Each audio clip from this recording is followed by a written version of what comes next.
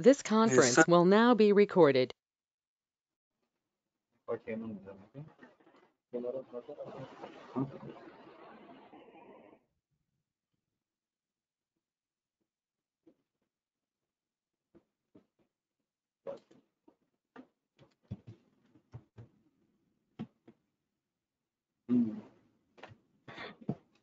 Good morning. Good morning, all. Am I audible? Yes, sir. Yes. Okay. Today we will be discussing about the complication of cirrhosis. Uh, the major complication of cirrhosis are the portal hypertension, portal hypertension, and uh, this uh, as I and this and portal hypertension. In this portal hypertension, there will be gastroesophageal and there will be port, uh, portal hypertensive gastropathy. There will be splenomegaly and hypersplenism and ascites. And uh, one of the complications of ascites is spontaneous bacterial bacterial peritonitis. So in which uh, the, there will be repeat in ascites when when you do repeated tappings, if there is any aseptic precautions uh, under uh, uh, if, if you don't follow the aseptic precautions, there will be every chance of uh, infection into the periton peritoneal, peritoneal cavity and there will be increase in the bacteria number of bacterial cells leading to spontaneous bacterial peritonitis. Next coming to when when there is a, a cirrhosis when when in cirrhosis there is a nitric oxide synthase is released so there will be vasodilation and uh, vasodilation so there will be pooling of the blood within the peripheries. So the uh, uh, the kidney thinks that there is hypotension so they, it activates the renin aldosterone system. So there will be alteration in the hepatic and renal parameters uh, which leads to uh, hepatorenal syndrome. It, it is of again two types and hepatic encephalopathy. Then uh, kidneys this uh, due to cirrhosis there will be accumulation of fluid within the lungs and there will be breathlessness due to compression of the diaphragm leading to hepatopulmonary syndrome. And there will be portopulmonary hypertension and uh, there is malnutrition. Malnutrition is mostly due to decreased in the food intake, food intake by the patients and they can't accommodate the food also. So the in a massive ascites there will be compression of the every organ so that the, there will be decreased food intake and the retention of uh, uh, there will be decreased uh, uh, defecation, difficulty in defecation, so the ammonia will be in, increased in the body, leading to hepatic encephalopathy. So then, then as a, there is a deficiency of the synthetic functions in the liver, there is a, there is a factor, these factor deficiencies, there will be fibrinolysis, and uh, due to B12 deficiencies, there will be thrombocytopenias and all those things. So these, uh, all leads to coagulopathy, and there will be bone, disorder, bone disorders such as osteopenia, osteoporosis, and osteomalacia and uh, there will be hematological abnormalities such as anemia, most commonly due to B12 deficiency, uh, that is, uh, uh, megaloblastic anemia is seen. There is there will be hemolysis, hemolysis is present, and next is the thrombocytopenia is will be there, and neutropenia will be there. So there is decrease in the all cell lineages, that is uh, hemoglobin, hemoglobin cell lineages, uh, platelet cell lineages, and uh, neutrophil cell lineages all will be decreased in uh, cirrhosis of liver. These are all, all the complications of these are the various complications of the cirrhosis, and uh, the and next coming to in detail the portal hypertension. And what is portal hypertension is it is defined as elevation of the uh, hepatic venous uh, pressure gradient greater than 5 millimeters of mercury. Usually, what is the normal uh, normal pressure gradient in the uh, portal portal cell portal vessel So what is the normal pressure in the portal system?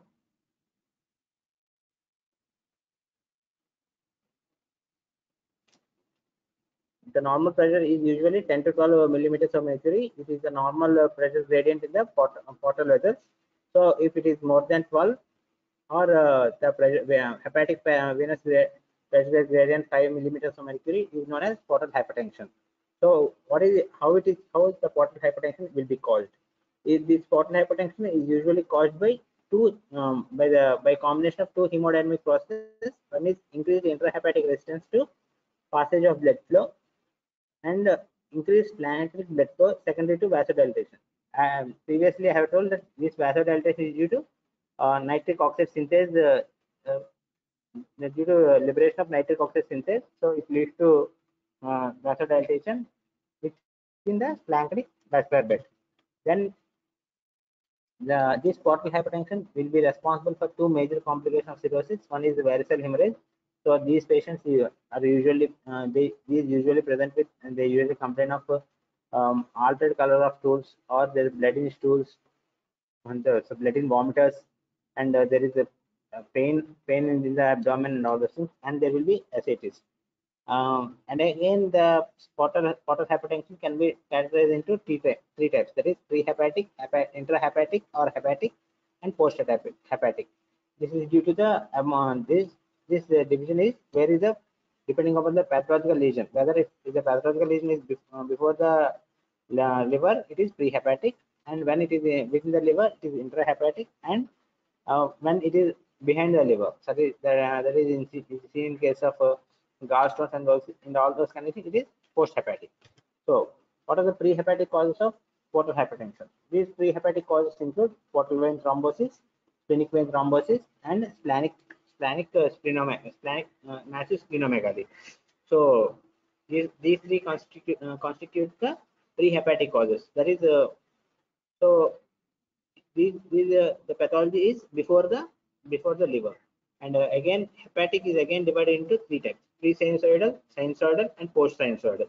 Uh, and, uh, in pre-sinusoidal, schistosomiasis, that is any uh, worm infestation by schistosoma, schistosoma when these bombs are uh, within the in the, within the liver, it leads to pre sinusoidal pre-sinusoidal type of hepatic uh, cirrhosis. And next is congenital hepatic fibrosis. Congenital fibrosis leads to cirrhosis. And again is sinusoidal. Sinusoidal is is due to cirrhosis of many causes. That is alcoholic cirrhosis or any toxic cirrhosis and all those things. We have various types of cirrhosis which we have discussed in the previous classes. And next is alcoholic hepatitis. That is the previous stage of cirrhosis. And next time next one is post-sinusoidal. Post-sinusoidal is hepatic sinusoidal obstruction or veno or veno-occlusive syndromes. Uh, other uh, what are the veno-occlusive syndromes you know of?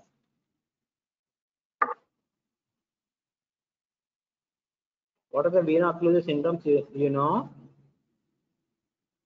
Come on, somebody respond.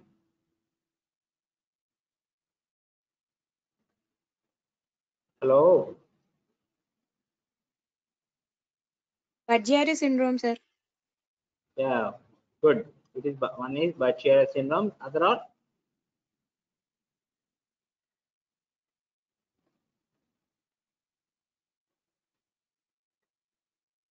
Okay. If you are not interested in a two way, I will continue in one day. You can hear. And post hepatic is one is Budd-Chiari syndrome, intravena caval webs, and cardiac causes such as restrictive cardiomyopathy, constrictive pericarditis, and severe congestive heart failure. That is, in severe right heart failure, there will be hepatic condition leading to uh, leading to uh, accumulation of ascites and all those things, leading to complica uh, complications. And coming into coagulation disorders, these, these coagulation disorders can lead to the development of portal vein thrombosis, which can uh, which can be lead to polycythemia. Polycythemia. There will be essential thrombocytosis. Essential thrombocytosis indicates there is increase in the uh, platelet, platelet count more than more than six. The normal platelet count is uh, 1.5 to 4 1.5 to 4 lakhs. Then in these conditions in these conditions of uh, essential thrombocytosis, the platelet count increases more than 6 lakhs. Usually in case of uh, septic, septic, septic conditions, the platelet count increases and without any, any cause of sepsis, if the platelet count is increased more than 6 lakhs uh, per cubic millimeter blood, then it is, it is defined as essential thrombocytosis. And in uh, deficiencies of protein C, protein S, antithrombin 3 and factor V Leiden mutation, uh, and in abnormalities of gene regulation and prothrombin. These, uh, these coagulation disorders can lead to all of these conditions and uh, some patients may have subclinical myeloproliferative disorders. And coming to the clinical features, the primary complication of portal hypertension are gastroesophageal varices with, with hemorrhage, ascites, and hypersplenism. Even without uh, without presence of ascites or any varices, if if on examination, if you find that spleen is enlarged uh, and uh, there is a history of alcohol intake, binge alcohol intake, it is better for uh, for these patients to subject to upper G endoscopic to rule out esophageal varices. So this is um, so these patients of hypersplenism who are alcoholic, it is better, and in, in, in, patients of cirrhosis, it is better to get them uh, screened for esophageal varices once in a once in a year. And patients uh, with upper GI bleed, development of ascites, uh, ascites along with with an enlarged spleen. On routine laboratory, we see thrombocytopenia and leukopenia. So in patients of uh, ascites, if there is any upper GI bleed, so we see thrombocytopenia. The, uh, these uh, thrombocytopenia again lead, this thrombocytopenia again leads to um, coagulation coagulation disorders leading to uh, leading uh, bleeding which which leads to bleed, bleeding bleeding tendencies. And there will be leukopenia. Then coming to esophageal varices. See one third of the patients with uh, historically confirmed cirrhosis uh, will have varices and it is the incidence is about uh, 10 to 15 percent 10 to 15 percent of patients per year. And one third of patients with uh, varices they develop bleeding tendencies. So the patients of varices it is better for them to get it uh, uh, get it on ultrasound once in six months or one year to know the whether uh, going into complications? So before uh, if there is a varices it is uh, if, if the virus is very large in size it is better to get it banding beforehand until until we wait for the bleeding to occur. And what are the factors that predict the risk of bleeding? This is that is one is MELD score. We have previously seen that what is MELD score what is MELD score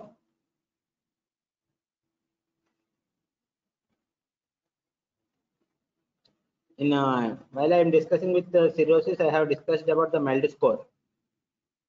What is the normal MELD score?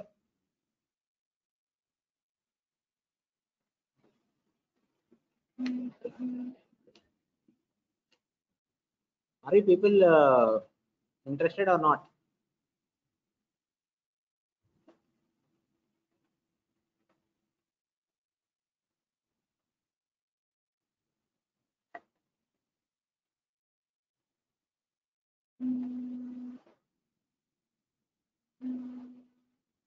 So the factors which include here, what is MELD score? Then the height of the hepatic wedge hepatic venous pressure is if it, if it is more, then it leads to the uh, increased chance of bleeding. And when the size of the varix, that is large varices are usually subjected to bleeding. And when when the location of the varix, if the location anti, oh, we have previously discussed anterior uh, anterior perforates and posterior bleeds. So the, if the varix is present posterior posterior in location, there is a more chance of getting bleed. And the, if the patient is having tense ascites, so tense ascites means if the uh, fluid ascitic fluid grade ascitic fluid volume if it is greater than 2 2 to 2.5 liter liters then it it, it causes tense ascites so the patient in these patients of tense ascites they can't they can't able to uh, able to take the breath in a supine position. So they have to uh, always sit in a uh, inclined position that is 45 degrees or at a erect position that is 90 90 90 degrees or in a sitting po sitting posture only so that there will be breathing out breathing uh, proper breathing. So these patients will, there will be in, then they in supine position these ascites will compress the diaphragm and causes breathing difficulties. So if the patients of ascites also there is a risk of bleeding increases. Then uh, how, how you diagnose the portal hypertension? In portal hypertension in chronic cirrhotic patients the portal hypertension is usually driven by presence of thrombocytopenia or appearance of enlarged spleen. If there is an enlarged spleen you can uh, think of portal hypertension only a single single entity. If there is a if, if there is no thrombocytopenia or no ascites or no encephalopathy or any no varices if there is only enlarged spleen seen in a in a in our routine exam routine uh, examination of the abdominal examination and uh, if you see and what are the and you if you have a history of diabetes of alcoholic intake chronic alcohol intake you can suspect yes the patient is going to portal hypertension. And uh, what is the other other indications of uh, what are the other uh, differential diagnosis of uh, enlarged spleen spleen?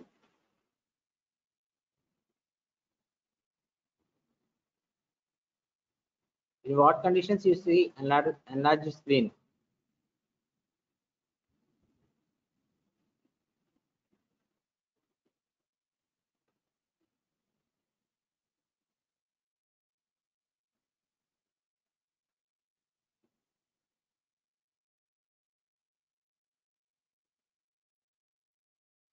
So in case of uh, ITP, ITP you see enlarged spleen. In case of uh, portal hypertension, you see enlarged spleen. And in conditions of uh, chronic in mal- malarial patients, you see enlarged spleen or any myeloproliferative disorders, you see enlarged spleen. And if there is a development of ascites, encephalopathy, and esophageal varices without without uh, bleeding, in these patients, the portal hypertension is usually suspected. And abdominal imaging, either CT or MRI, is usually helpful for demonstrating of nodular liver and portal hypertension. So these uh, ultra, ultrasonograph can give can um, give the hepatic uh, portal venous gradient if it is more than 12 milligrams per uh, mercury. It is a it is indicator of uh, portal hypertension and the increased chance of varicose hemorrhage. So next coming to the treatment. What is the treatment of varicose hemorrhage? The the treatment is again two types. One is uh, primary prophylaxis and second is prevention of rebleeding. So primary uh, in for pri- primary prophylaxis, you will uh, you will ask the patient for regular uh, endoscopic uh, regular endoscopic screening once in six, once in six months once in six months to see where what is the size of the varices, whether the size of the varices is increasing or any there bleeding spots within the varices. And second is prevention of re- rebleeding. And and in uh, primary prophylaxis, you can also you can also uh, you can also see if there is any increase increase in the size of the varus. So you can go for a endoscopic varicose banding and and and the prescription of uh, non-selective beta blockers such as propranolol for these patients as a primary prophylaxis. So prevention of rebleeding. So rebleeding usually uh, first for uh, for prevention of rebleeding, first you have to treat the acute bleed, then then go for prevention of rebleeding. So for acute bleeding, we should require both fluid and blood product replacement. And as a medical management usually include use of vasoconstricting agents such as somatostatin, octreotide, and if if the varices, usually these uh, vasoconstrictive agents uh, uh, constrict the bleeding vessel so that the cha- bleeding will be will be stopped and there will be clear visualization of the varix so that we can go for banding. And uh, if, if the patient is unstable or um, unstable, that is the hemodynamic, hemodynamic, hemodynamics are uh, variable. In those patients, you can go for balloon tamponade. So you can um, endoscopically go and uh, inflate a balloon at the bleeding, bleeding vessel so that it causes pressure over the uh, vessel and uh, decreases the bleeding. And again, it's uh, sclero and again sclerotherapy it is clear as the bleeding vessel and endoscopic band ligation. Uh, it is usually done. And uh, it, uh, then further further bleeding is usually accompanied by repeat uh, uh, band ligation until the varices are obliterated. If the in cases where uh, the varix is very very large and if it extends into the stomach, in those conditions, intra intrajugular uh, intrahepatic portosys- portosystemic are usually done, are usually are usually kept. So in a, and uh, in case of surg- surgical, of in, in case surgical tra- esophageal transection, it is which is usually done. It is only the surgical option that is that is uh, needed, and it is rarely done, and it, it, can, it can be and it is associated with a poor outcome. Then coming to splenomegaly and and hypersplenism. So splenomegaly, the congestive splenomegaly is usually common in um, uh, this uh, cirrhosis, and the spleen is enlarged on physical examination, and there will be thrombocytopenia and leukopenia in patients who, uh, when they are subjected to routine um, blood investigations. And splenomegaly usually requires no specific treatment. So splenomegaly without any uh, splenomegaly, if- isolatedly present, it requires no specific treatment. So if the patients can, if there is a chance of increased portal hypertension, then it is it leads to then we require non-selective beta blockers. And splenectomy, if the if there is repeated chances of uh, recurrent thrombocytopenia and the bleeding tendencies in those patients, splenectomy is usually done. And in hypersplenism, thrombocytopenia in patients of cirrhosis is the first is the first indication of portal hypertension. So hypersplenism is the first indication of patients with portal hypertension. Then coming to ascites. What is ascites? What is the definition of ascites?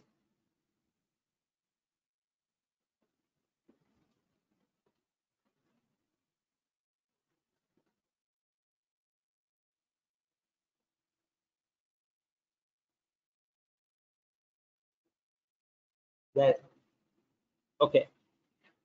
Ascites is defined as the accumulation of the fluid within the peritoneal cavity. And uh, the normal, what is the normal uh, amount of uh, fluid within the peritoneal cavity?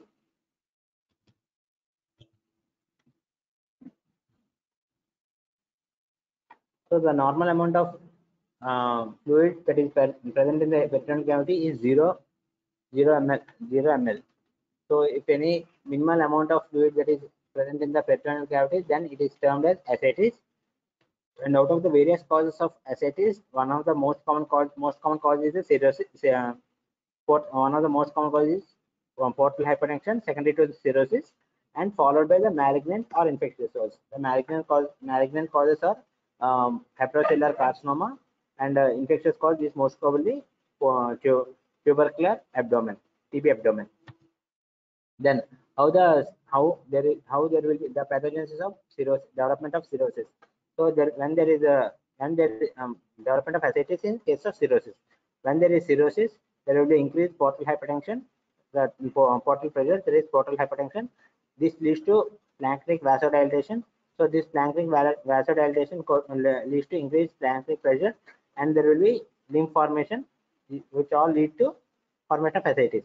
Or there is arterial underfilling so there will be activation of vasoconstrictors and anti anti natriuretic factors. So this uh, this activation of vasoconstrictors and anti natriuretic factors are due to um, hypotension. The uh, hypotension which uh, the senses uh, which gives the signal to the uh, re- renal system that is uh, due to activation of renal aldosterone system. So there will be leading to retention of the sodium. Sodium uh, there will be sodium retention and the which uh, which further along with the sodium there will be also retention of uh, water. So lead to plasma volume expansion and again lead to formation of ascites. So the two main causes are increase the increasing increased splanchnic pressure and arterial underfilling.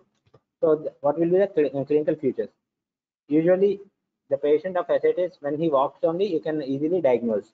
So it is a diagnosis on exam uh, mere examination. So patients uh, with a distance abdomen and which will be present with distance abdomen and accom- accompanied with peripheral edema. So if the ascitic fluid is massive, respiratory function can be compromised. So I have I previously said when there is massive ascites, there will be compression of the uh, diaphragm. So there will be decreased uh, expansion of the lungs. So there will be shortness. The, the patient may have shortness of breath and uh, they have malnourished and muscle wasting accompanied by excessive fatigue and weakness. So this is by physical examination. By physical examination, you can say that the patient is ascites. Um, by uh, there in these patients there will be distension of abdomen with flanks fullness, and there will be su- uh, subtle amounts of ascites detected by ultrasound or CT scanning. Hepatic hydrothorax is more common on the right side because why it is more common on the right side? What is hepatic hydrothorax? What the term hepatic hydrothorax means?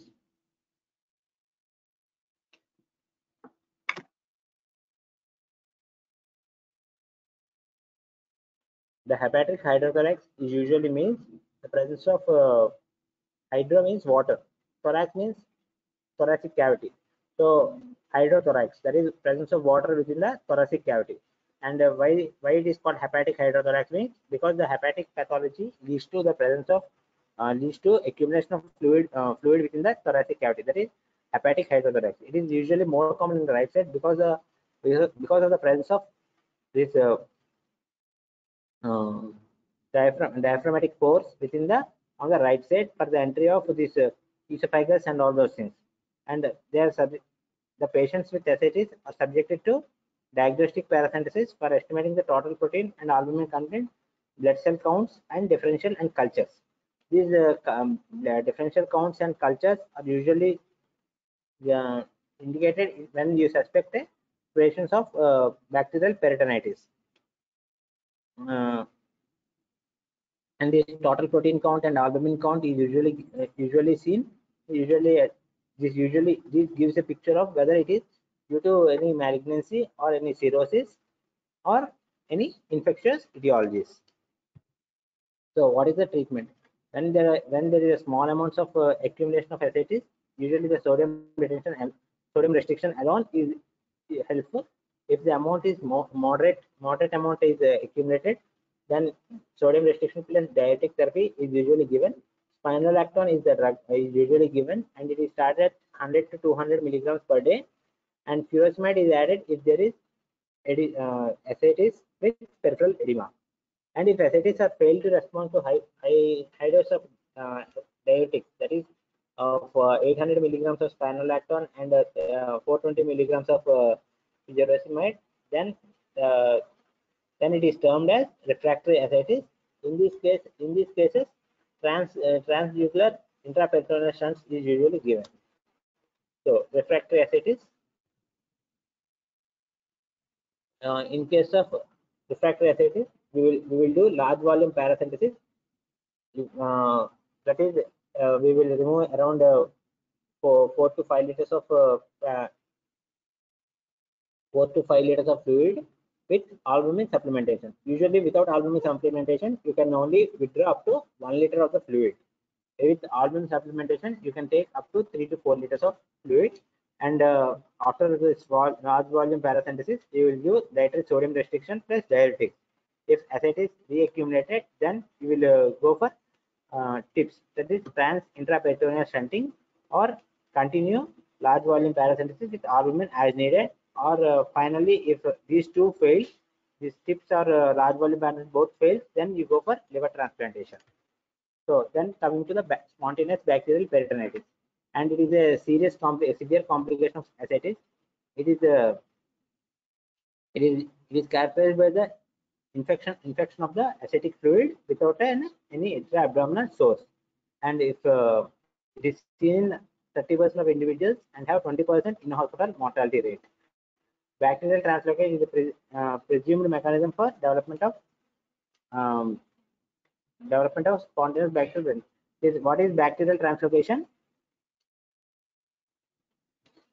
it is bacterial translocation is normal normal gut bacteria can be translocated within the uh, can be translocated within the peritoneal cavity leading to spontaneous bacterial peritonitis uh, then the common what are the most common organisms that uh, causes spontaneous bacterial peritonitis are these are uh, E. coli, Streptococcus viridans, Streptococcus aureus, and Enterococcus species are usually found.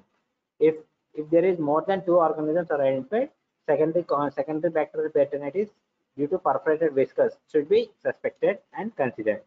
And uh, the diagnosis is confirmed uh, confirmed if there is any when there is increase in the neutrophil count of greater than 250 uh, 250 cells per my, um, microliter of peritoneal fluid then uh, so if the if the patient of spontaneous bacterial peritonitis they have fever altered mental status and there will be elevated white blood cell count and abdominal pain or discomfort and treatment with second generation cephalosporins is usually the drug of choice for spontaneous bacterial peritonitis such as uh, uh, cefotaxime is usually given for these patients at a dose of 1 gram 1 gram uh, 1 gram twice daily for a day for 7 to 10 days.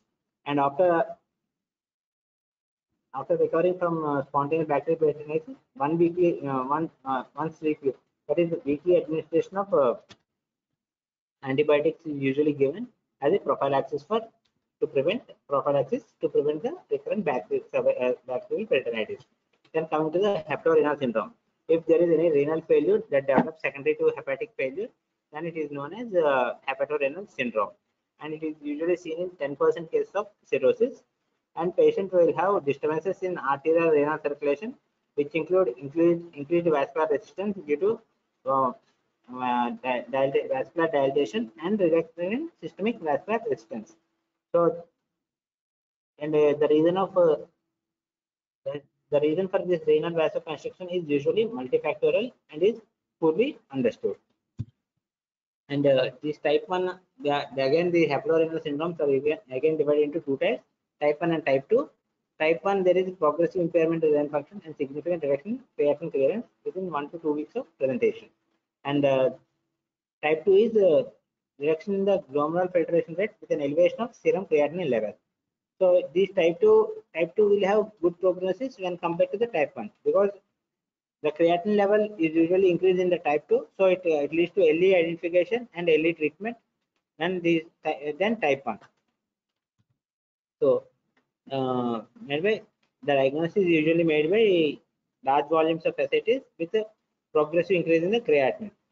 Dopamine or a prostaglandin analogs are usually are used as renal vasodilating medication. Currently, current treatment for hepatorenal syndrome is midodrine, an alpha agonist, along with an octreotide and intravenous albumin. And the best therapy of hepatorenal syndrome is uh, liver transplant, liver, liver cell transplantation. Then hepatic encephalopathy. And hepatic encephalopathy is occurs is a portosystemic uh, encephalopathy is a serious complication of chronic liver disease. It is of again grade of four stages. Stage stage one is uh, alteration in the sleep patterns.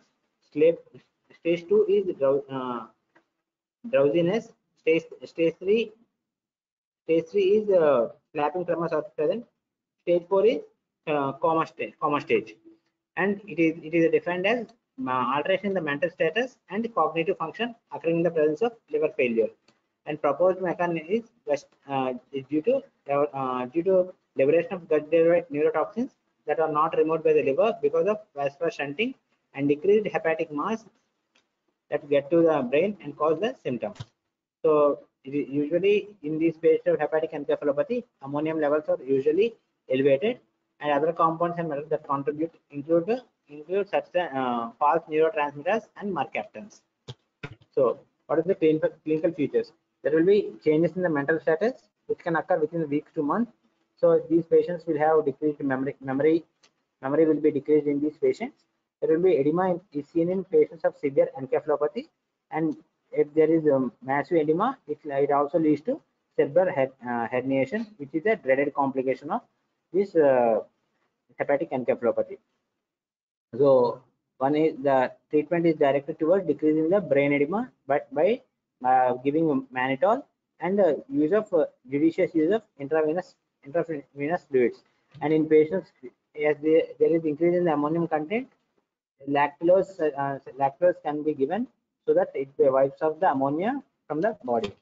So in cirrhotic patients, as a result of certain, uh, so there will it also be precipitated by decrease in the dietary protein, hypokalemia, infection, and electrolyte imbalance. So, so various presentations include confused or exhibit a change in personality. They become violent all of a sudden and difficult to manage, and patient may be sleepy and difficult to arrest. That is a comatose stage. That is stage four of uh, hepatic encephalopathy.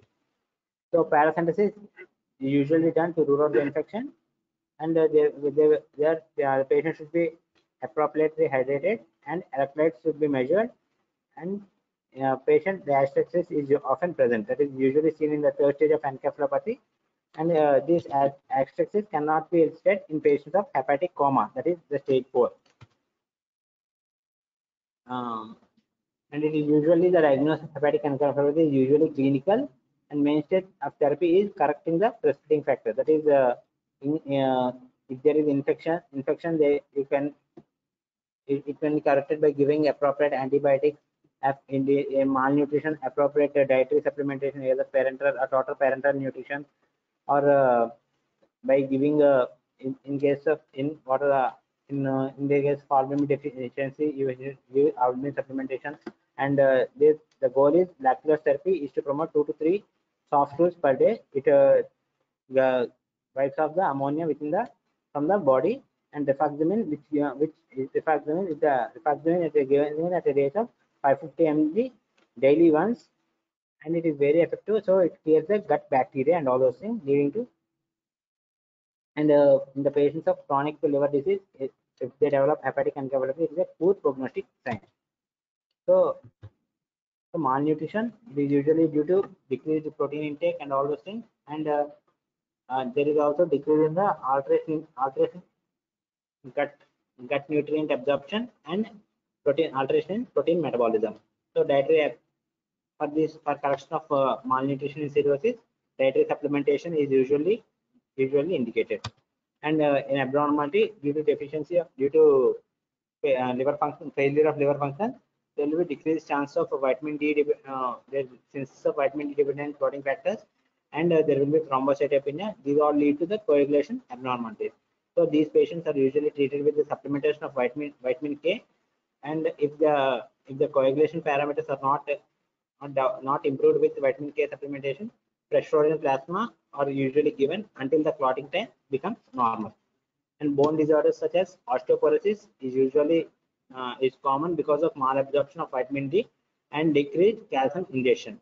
So in these patients, if to decrease the osteoporosis, um, bisphosphonates are usually given to to inhibit the resorption of the bone, and supplementation of calcium and vitamin D3 are usually given for um, for uh, increasing the bone strength. And uh, hematological abnormalities such as uh, various hematological abnormalities we have seen that is there is anemia, there will be thrombocytopenia, there will be um, uh, thrombocytopenia and leukopenias will be there. So the usually you have there will be more more chance of macrocytosis, macrocytosis, and uh, there will be neutropenia, which is secondary to the hypersplenism. So these are all the complications of the cirrhosis. Um, and what can be what what are the complications can be done for new people uh, there will there will be a question of uh, you know, they can be asked uh, four marks for what are the complications of cirrhosis or the, uh, describe in brief the hepatic encephalopathy these can be your questions in this topic okay any questions? Any doubts?